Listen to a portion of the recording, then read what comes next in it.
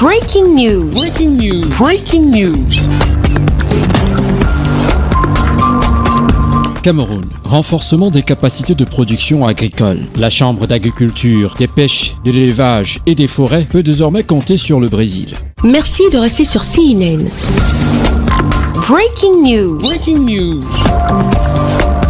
Dans l'optique de renforcer les capacités de production agricole au Cameroun, le président de la Chambre d'agriculture, des pêches, de l'élevage et des forêts, Martin Paul Minjos, a reçu ce 6 septembre à Yaoundé une forte délégation brésilienne des spécialistes en agriculture. Une délégation brésilienne venue rencontrer les membres du gouvernement, les chefs d'entreprise et les investisseurs afin d'apporter leur expertise pour un véritable décollage de la production agricole au Cameroun et davantage outiller les femmes dans la production du Pour euh, travailler avec le Cameroun et euh, euh, développer le- l'agriculture ici avec projets, euh, les entreprises, l'innovation, la technologie, euh, un accompagnement pour tous les tout, tout et toutes tout, toutes les nécessités des producteurs camerounais. C'est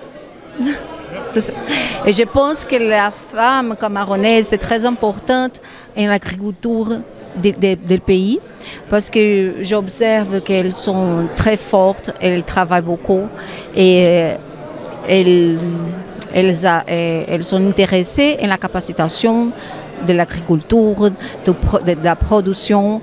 euh, et je veux préparer un projet spé- spécifiquement pour les femmes dans l'agriculture camerounaise. Au sorti de ces échanges entre le gouvernement camerounais et les experts brésiliens en agriculture, une convention pour la formation des jeunes Camerounais engagés dans le domaine agricole dans les universités brésiliennes a été signée. Nous avons reçu une très importante délégation brésilienne qui est venue rencontrer les opérateurs économiques du Cameroun du secteur de l'agriculture, de l'élevage et des pêches.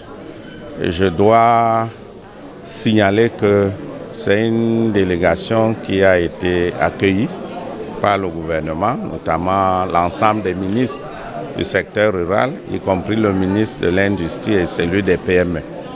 Donc, euh, secteur rural, ça veut dire le ministre de l'Agriculture et le ministre en charge de l'élevage.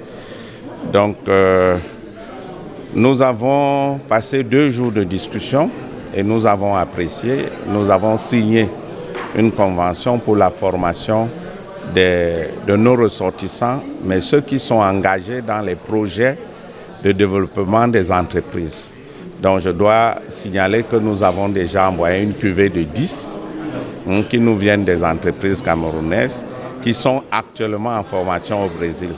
Donc nous, allons renforcer cette coopération pour former davantage ceux des ressortissants qui sont dans les entreprises de nos membres pour qu'ils aient beaucoup plus de capacité. Cette coopération va s'étendre vers le développement des entreprises avec le savoir-faire brésilien, notamment en matière de technologie. Et la Chambre est disposée, hein, avec l'appui du gouvernement, à poursuivre cela.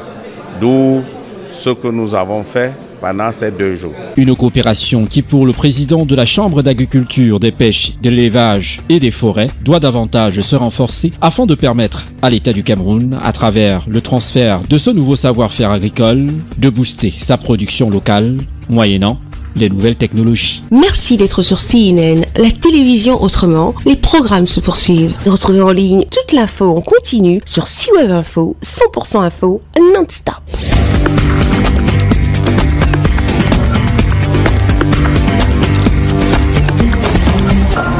Breaking news. Breaking news. Sur CNN.